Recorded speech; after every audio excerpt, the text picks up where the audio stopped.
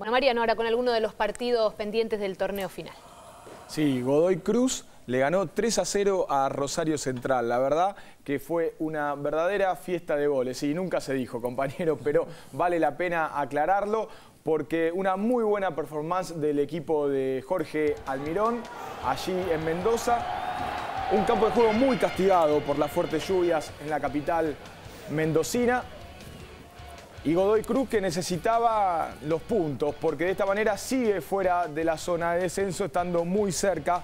Pero recordemos que tiene tres triunfos al hilo. Le ganó a Quilmes, a River la fecha pasada y ahora a Central. Este iba a ser el jugador del partido, Gonzalo Castellani. De tiro libre, la pelota se desvía en Becker, el defensor de Central que estaba en la barrera, y ponía el 1 a 0 cuando terminaba la primera etapa. En el segundo tiempo, miren este. A ver. Golazo.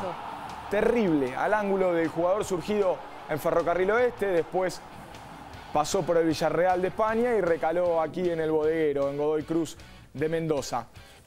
Para llevarse la pelota tenía que hacer tres. Sí, hat-trick. La primera vez que convertía tres en un partido. También un golazo al palo izquierdo de Mauricio Caranta Godoy Cruz es puntero también junto con San Lorenzo, Colón y Estudiantes de La Plata.